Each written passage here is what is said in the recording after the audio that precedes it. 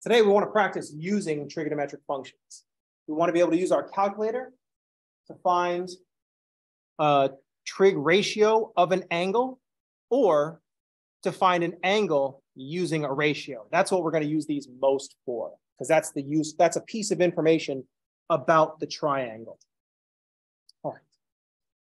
If you take a look at each of our trigonometric functions, we've got sine of theta is opposite over hypotenuse, cosine of theta is adjacent over hypotenuse, tangent of theta is opposite over adjacent. Each one of those equations has three parts, the angle and two of the sine. There's a theta, opposite, and hypotenuse, or theta, adjacent, and hypotenuse, or theta, opposite, and adjacent, paired with the trig function.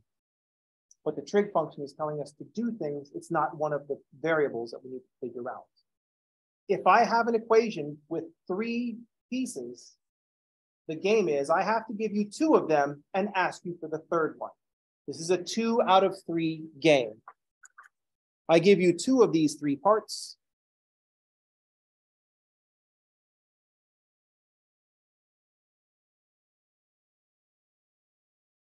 Find the third part.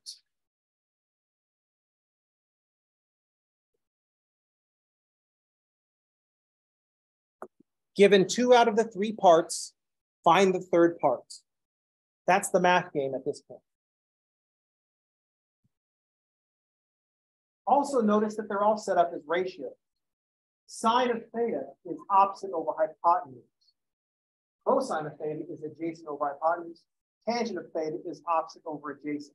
If you're wondering if I'm just going to keep reading these every time it comes up, the answer is yes, because a song doesn't get stuck in your head because you heard it once.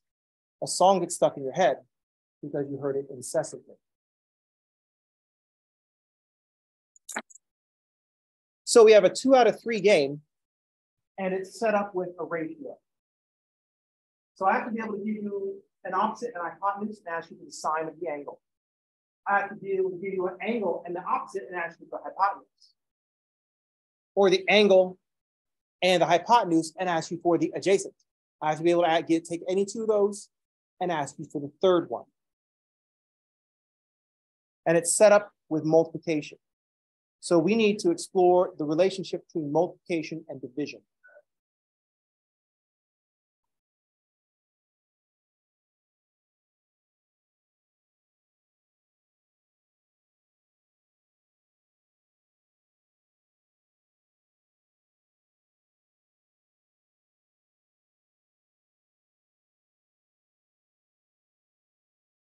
This is what I like to remember in terms of multiplication and division. Six is equal to two times three.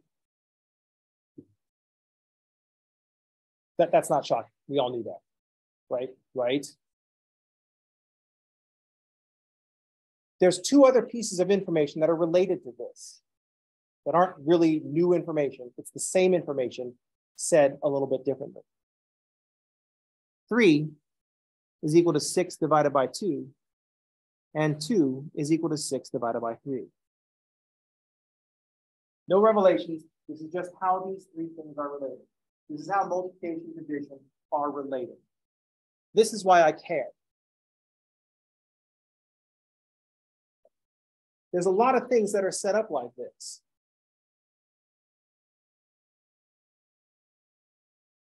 If I drive at 50 miles an hour for eight hours, how far am I going?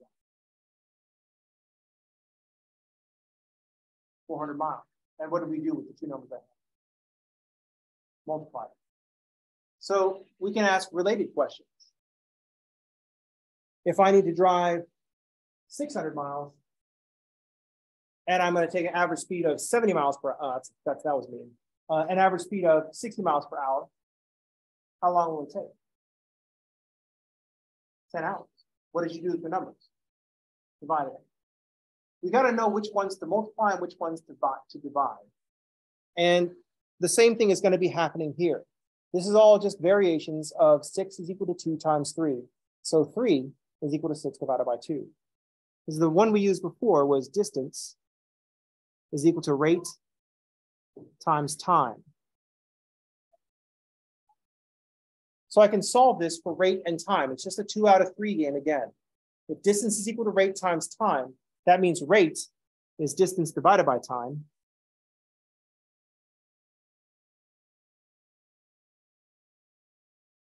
Or time is distance divided by rate.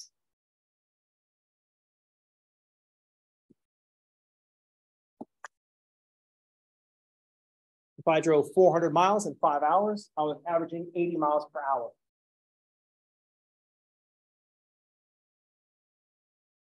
Rate is distance divided by time. If you remember one of them, you get the other two by understanding how multiplication and division work. And if we just remember that rate is measured in miles per hour, and that per means divided by, we've got it. Rate is something we measured in miles per hour.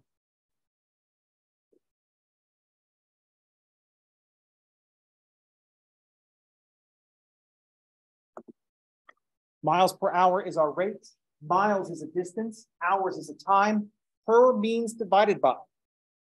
Per means divided by.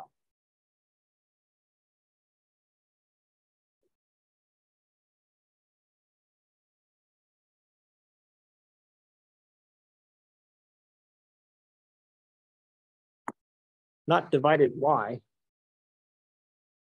spelled by wrong. Per just means divided by. The miles per hour means miles divided by hour. That'll help us remember some stuff. If we need to turn it around for one of the other ones, if three is six divided by two, then six is two times three. And also two is six divided by three.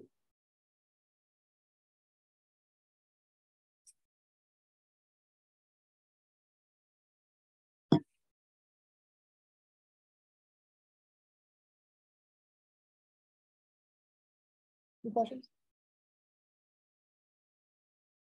Other ways of remembering things is the triangle method. Think about the think about the distance as the one on top. So notice that the distance sees the rate and the time together. So the distance, put that at the top, and distance sees rate and time next to each other.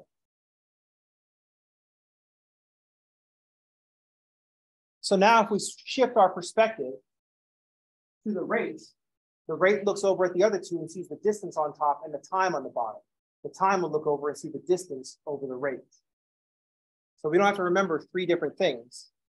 We just have to remember one thing. Any questions? So that's a visualization.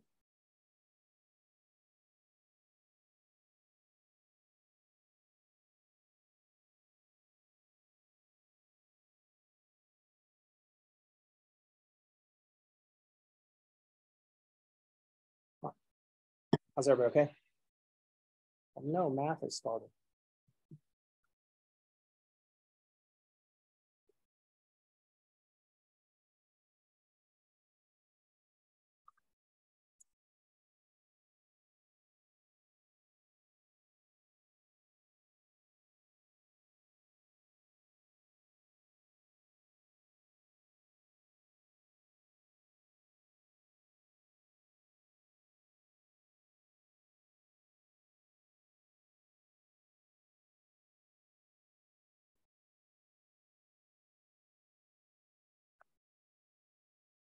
Let's look at an example with numbers.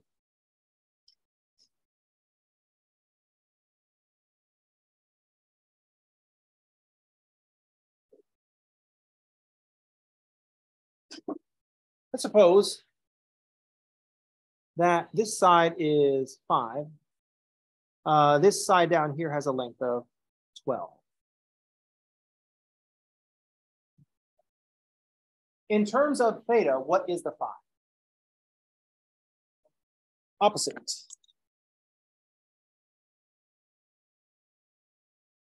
And in terms of the theta, what is the 12? Jason. So if I wanted to know something about the angle theta, which trig function are we going to bring into play? Tangent, because we know opposite and adjacent.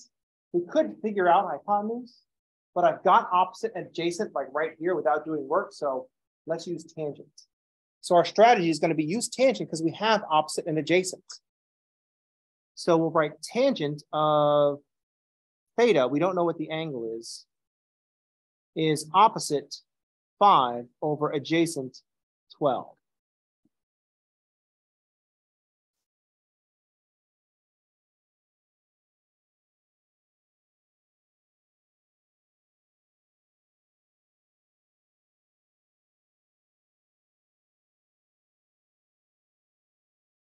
But I don't want to know what the tangent of this angle is. I want to know what the angle itself is.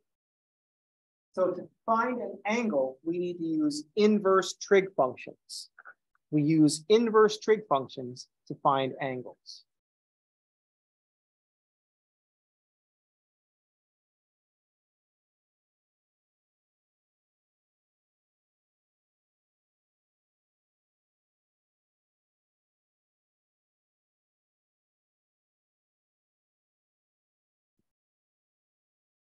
So this is what it's going to look like. We're going to take the tangent inverse of both sides. Since tangent inverse is the inverse of tangent, they cancel out. Just like if we had an equation where it said 5 times x, we would do the inverse of multiplying by 5. We would divide by 5. If our equation said x minus 7, we would do the inverse of minus 7, and we would add 7 to both sides, right? Right? Every time I do that, you get stronger agreement, whether it's true or not. Mm-hmm. And that's the fundamental theorem of calculus, right? Right. And everybody like, oh, yeah? There's like an inherent threat level that you get as a teacher. I don't even know why. I'm not like threatening. Like if this happened in a bar, actually, I do the same strategy. If someone tries to pick a fight with me in a bar, it's like, all right, you're picking the fight. I get to choose the weapon integrals you can start. Ask me an integral. No, but wait, what? I Well, integrals at five paces. Come on, punk, let's go.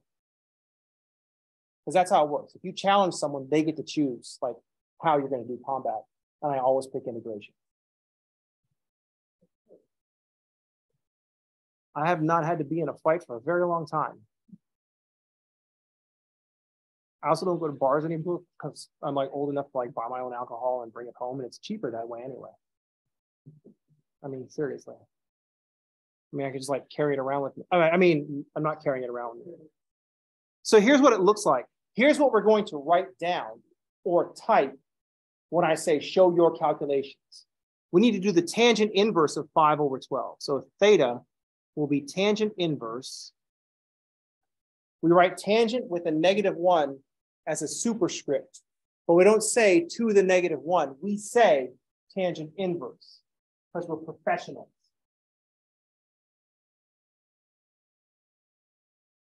And then we put parentheses because we're professionals.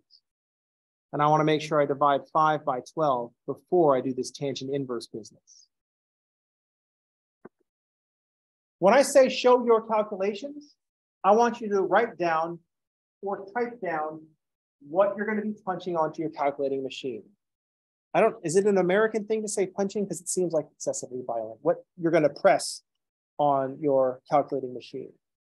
So I want the tangent inverse of 512s. So here's my inverse, or here's my tangent. And inverse tangent is above in blue. So I got to go second tangent inverse of 512s.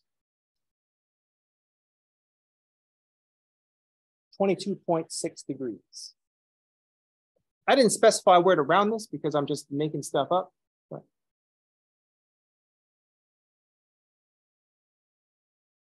let's just default to rounding to the nearest 10. Any question? Apparently, if you have an Android phone with their superior scientific calculator, you can just type second tangent inverse 5 divided by 12. I think, does it open up parentheses for you? Oh, How courteous. It even gives you parentheses. So nice. Let's see what we have to do with these iPhone calculators. First of all, activate portrait mode. Now remember, tangent inverse is your default is sine, cosine, tangent. I need tangent inverse, so I need to press second. Get that going. And these buttons do the function of whatever is sitting on your screen at the time. So if I just type 5 divided by 12, it's going to do the tangent inverse of 12 because the calculator is not listening to you. It just does what you whatever is there. It's not like listening to you. It doesn't know what your intention is. So you have to hit equals. Now we're looking at 5 divided by 12. Now I can press tangent inverse. Look how many digits. I'm like, oh, I don't need those digits. I need you to read my intent.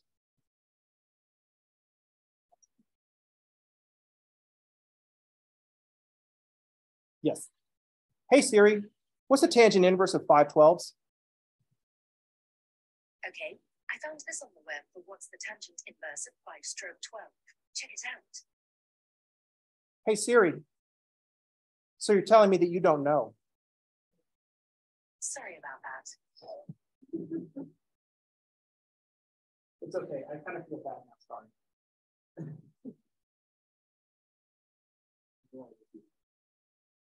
Desmos, oh, that's right, Desmos. Um, thank you for reminding me. So Desmos normally is like a graphing app. And it's like, calm, calm, calm down. Oh, no, it's gonna be I can't because I got the cheap the, the cheap camera. It's only gotta be using this for COVID and then, oh yeah. Chill phone. So um, funks, tangent inverse, 512s. Oh, it's in radians though. The wrench? Oh my God, they added that. Okay. Oh, and you have to do it again. So make sure you're in degrees. I want my our angles in degrees. There it is, 22.6 to a ridiculous degree of precision. Any questions? Is everybody okay? Everybody's so happy.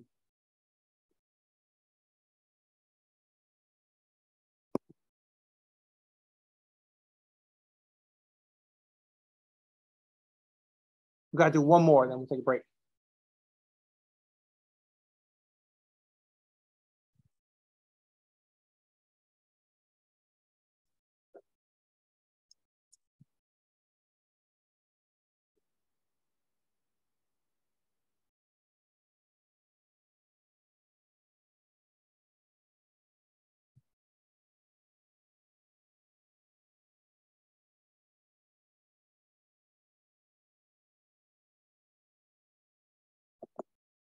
Oh, I can't call the opposite side A. That's just mean. Jeez. kidding me? I'll call it X. X. Let's just call it X. There we go. So I've got this angle 32 degrees. What is X relative to that 32 degrees? Opposite.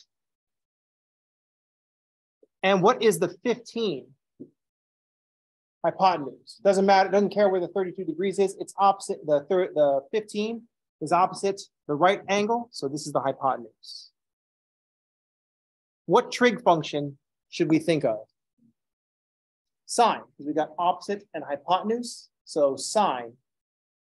Let's fill in what we know. Sine of 32 is opposite over hypotenuse.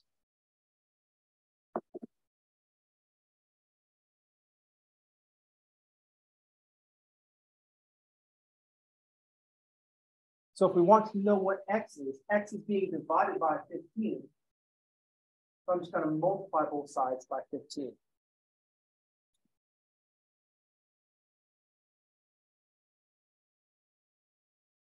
Note that I'm not trying to figure out what the sine of 32 degrees is before I just write down 15 times the sine of 32.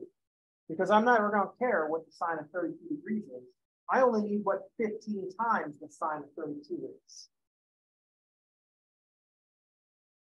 And so on our Texas Instruments calculators or Android, we're just going to type 15 sine 32, close parentheses because we're not slobs, and then hit enter.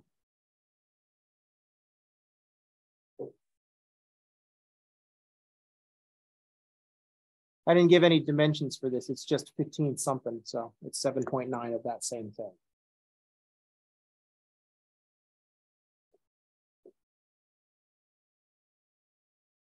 Question? Yeah. Inverse sine would be for finding an angle.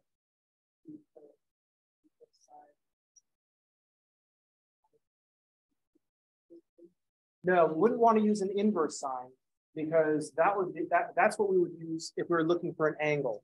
But the angle that we're looking using is 32 degrees. We've already got an angle, so we're not going to use inverse sine.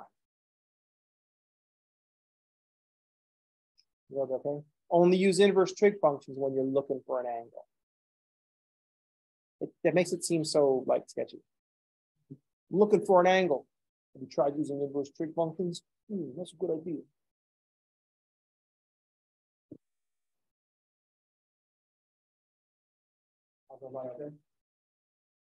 Let's take a break. Come back and do a brief activity.